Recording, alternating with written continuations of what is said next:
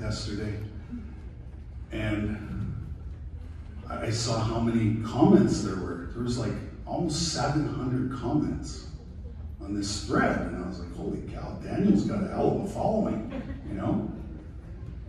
And well, as I was reading all of these uh, responses, it was like ugly stuff, right? And I said to Danielle, I can't many communists in Alberta.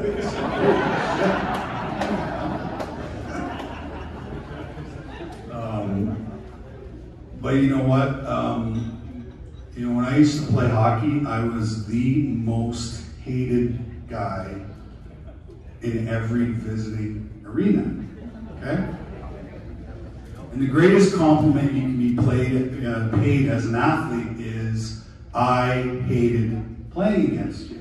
Okay? And every time I see Wayne Gretzky, he always makes sure of the fact that he tells me that, right?